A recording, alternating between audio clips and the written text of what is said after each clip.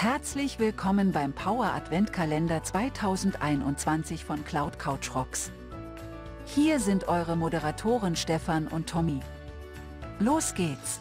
Hallo ihr Lieben, ein herzliches Willkommen zu einem neuen Cloud Couch Rocks Power Adventkalender Türchen. Herzlich willkommen, herzlich willkommen auch dir, Stefan. Grüß dich. Moin, Tommy. Moinsen. Ja, wir haben uns ja gerade schon unterhalten, was du uns gleich präsentieren wirst. Ich bin total gespannt drauf. Es geht um den Power Apps V2 Trigger. Ich übergebe dir quasi das Wort. Los geht's. Super, vielen Dank. Dann nehme ich es mir doch. Genau. Ähm, einige wissen, dass ich, dass ich unglaublich gerne auf den Power Apps Trigger schimpfe. So, den Power Apps Trigger, den, den brauche ich, wenn ich, ähm, also für Power Automate, wenn ich ein, ein Power Automate Flow, ein Cloud Flow aus einer Power App aus, aufrufen möchte, dann brauche ich den Power App Trigger. Den habe ich auch mal benutzt, das ist auch alles soweit toll, aber er hat halt einen großen Nachteil und wer ihn öfter benutzt, der weiß, worauf ich jetzt hinaus will. Das ist der Instant Cloud Flow. Ich zeige es noch einmal kurz. So, das ist dieser Power Apps Trigger hier. Den nehme ich mir. Zack. Ein Trigger Sample. So. Der Floor wird gebaut. Ich habe oftmals ähm, Dateien aus, der, aus einer Power-App hochzuladen in verschiedene Systeme. Da ist mal ein SharePoint bei, das ist auch mal Blob Storage, aber jedenfalls muss halt das Ganze erstmal irgendwie in den Flow rein. So, das heißt, ich habe eine Menge Parameter zu übergeben und das möchte ich hier machen, kann ich aber nicht. Was muss ich dafür machen? Ähm, ich muss dafür ähm, in, in der Power App nachfragen und äh, quasi damit sagen, ey, ich brauche hier einen Parameter und den musst du in der Power App zur Verfügung stellen. Ich mache das üblicherweise, dass ich hier erstmal so ein Compose-Objekt habe. Das haben wir auch in der älteren Folge schon gehabt. Ich will es nur mal nochmal als Recap. Ähm, und kann dann hier sagen, Mensch, ähm, frag mal in der Power App nach, ask in Power Apps, zack. So. Dann macht er das und fertig. Damit habe ich einen Parameter ähm, definiert in der Power App und habe jetzt aber das Problem, ich kann diesen Parameter jetzt hier nicht löschen. So, das ist so ein bisschen, ähm, so ein bisschen blöd. Und ähm, das heißt, im Endeffekt musste ich bisher dann immer die, den Trigger löschen, damit dann auch alle Parameter weg sind und dann das Ganze wieder neu aufbauen. War ein bisschen blöd. Und dann habe ich beim Tommy in einer Demo etwas gesehen, wo ich dachte, Mensch, das hast du dir auch gar nicht angeguckt. Wo kommt das Ding denn her? Das war nämlich der Power App V2 Trigger. Ich gehe noch einmal zurück. Brauche ich nicht speichern, ist egal. Das haben wir ja öfter ja mal, dass neue Trigger nachgeschoben werden und die dann so Zahlen dran kriegen, V2, V3. Genau. So, hier dann jetzt mal ein Wunsch, dass ähm, vielleicht die neuere Version von Triggern oder auch von Aktionen eines, ähm, eines, ähm, einer Aktivität, wenn die vielleicht etwas prominenter da wären, weil um die neueste Version, quasi die V2 eines Power Apps Triggers zu bekommen, nämlich erstmal ein bisschen nach unten scrollen und finde da den V2 Trigger. So. Das Ding ist nach wie, nach wie vor, das funktioniert alles genau gleich. Sage ich jetzt hier äh, Another Trigger, zack, Create und er erzeugt das Ding. So, was geht jetzt hier anders? Sieht eigentlich genauso genau gleich aus, außer dass jetzt hier eine V2 hintersteht. Läuft er vielleicht schneller oder irgendwie besser? Er hat was Neues und zwar Add an Input. Das heißt, ich habe jetzt die Möglichkeit, direkt an dem Trigger Eingabemöglichkeiten zu definieren, die mir dann halt in der Power App zur Verfügung gestellt werden.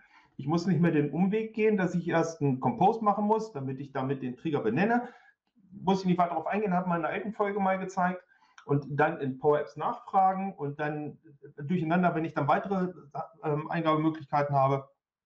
Ich kann es direkt definieren. Das ist eine ziemlich coole Sache.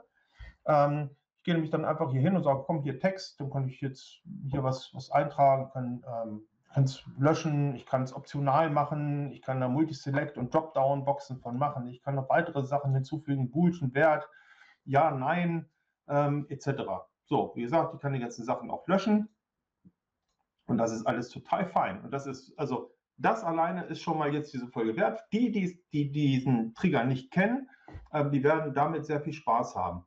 Aber was ihr vorhin gesehen habt, und da habe ich ein kleines Beispiel mitgebracht, das ist, ähm, ich sagte es ja am Anfang schon, ich lade gerne Files hoch und es gibt halt auch den File-Content als Eingabeelement.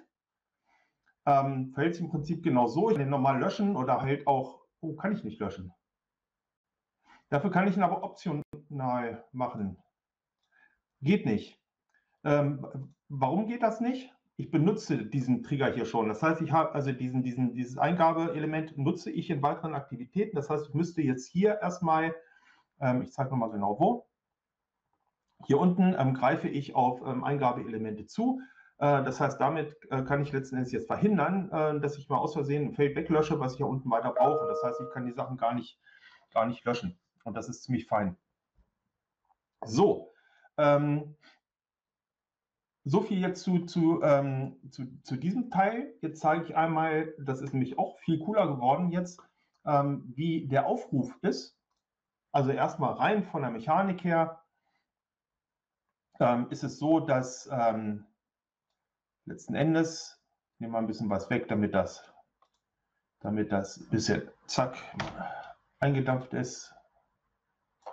Dazu komme ich dann nochmal später. Zack, das nehme ich auch mal weg.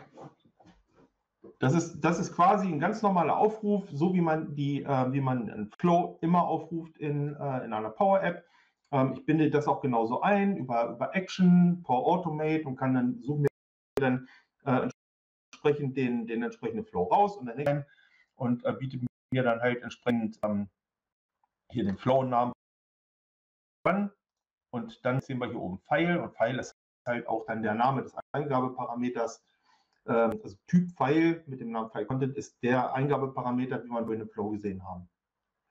Was jetzt ganz cool ist, ich musste vorher sehr umständlich ähm, erstmal ähm, die Dateien, wenn ich Dateien hochladen wollte, ähm, erstmal transformieren. Ich musste also da, ähm, da die Eingabeelemente alles Zeichenketten waren, musste ich quasi den Content erstmal transformieren. Das heißt, in dem Moment, wenn ich das Action, ähm, das Attachment Control, in diesem Fall von SharePoint benutze, musste ich erstmal einen Umweg gehen, dass ich das ausgewählte Attachment in einem Image Control zwischenspeichere ähm, und dann den Inhalt des Image Controls an den Flow übergebe. Dann habe ich nämlich den, äh, den reinen Content und der kann dann weiter verarbeitet werden.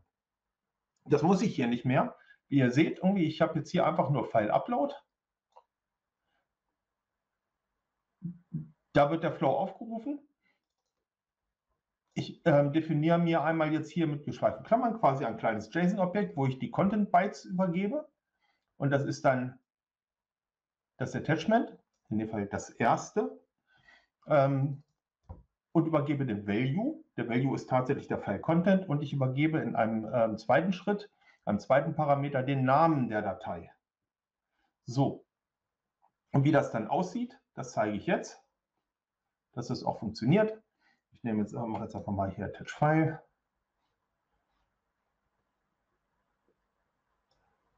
Zack, hier irgendwo ein Weltraum PNG.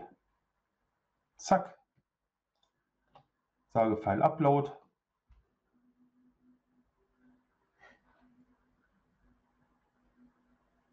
und hoffe, dass ich dann gleich eine E-Mail bekomme.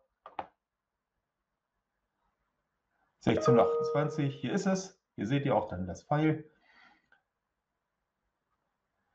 Ähm, Weltraum.png, das ist die Datei, die ich mir hochgeladen habe. Warum kriege ich die jetzt hier als E-Mail? Das liegt hier ran. Ihr habt es schon gesehen, ich habe hier den File-Content oben in der Eingabe. Ich habe den Outlook-Connector hier mit drin und übergebe hier den File Name, also Trigger Body File und dann halt den, den Parameter Name und ähm, hier unten halt die Content Bytes.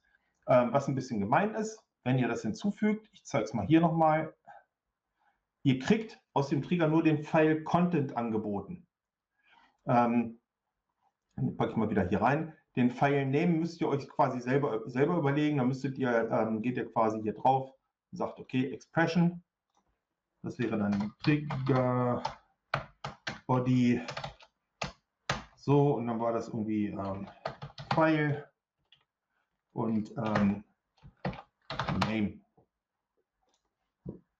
So, Expression hat, hat fehlgeschlagen. Achso, Trigger Body, ich glaube mit einem großen B. Ich habe mir dafür einen Screenshot nochmal gesichert, wo ich nochmal gucken. Ja, das B muss groß, muss groß geschrieben werden. Okay, zack.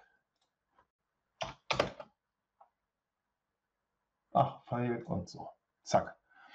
Genau, auf die Art und Weise kriegt ihr dann den Dateinamen mit rein, sodass dann die Datei, die verschickt wird, halt auch den Dateinamen bekommt, den ihr in der Power App hochgeladen habt.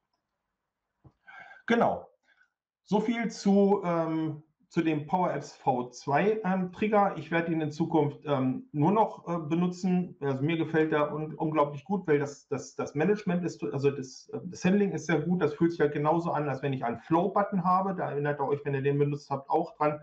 Da kann ich halt auch oben die ganzen einzelnen Parametertypen einsetzen und ähm, löschen, hin und her ähm, moven und alles ist gut. Also der macht wirklich Spaß. Ähm, bei dir, Tommy, weiß ich, du hast den auch schon öfter, äh, öfter im Einsatz gehabt. Ich weiß es von deinen Demos. So, ich mag ihn auch. Da ich jetzt nicht gegen die Wand, das ist gut. ich benutze den auch nur noch. Der ist, der ist fantastisch. Einfach durch die Einfachheit der Definition der Parametern, auch wenn man Files übergibt. Das, was du alles gerade gezeigt hast, spricht eigentlich nur dafür, nur noch den zu verwenden. Ja, der mit dem File-Content, also wirklich, also Upload von Dateien in Power Apps ist immer, immer ein Thema gewesen. Das war immer irgendwie kompliziert, das war, es fühlte sich immer irgendwie gefrickelt an. Ähm, in der Kombination finde ich, irgendwie macht das ein gutes Gefühl, so kann man wirklich sagen, es ist eine gute Architektur und mir gefällt es. Ich hoffe euch auch. Wenn ihr sagt, nee, ist nicht, dann wird uns interessieren, warum das nicht ist. Dann könnt ihr das da unten ähm, reinschreiben. Wenn ihr sagt, hey, wir finden den auch total großartig, wir nutzen den eigentlich auch nur und ich bin der einzige Blödmann, wieso der den jetzt erst wirklich für sich entdeckt hat, dann könnt ihr das auch gerne da reinschreiben. Wir würden uns total drüber freuen. Und ähm, ja, für die heutige Folge vielen Dank, Stefan. Vielen Dank auch an euch, dass ihr zugeschaut habt. Und da bleibt uns eigentlich nichts weiter zu sagen, als schaltet beim nächsten Mal wieder ein, wenn es heißt Cloud Couch Rocks. Macht's gut. Ciao.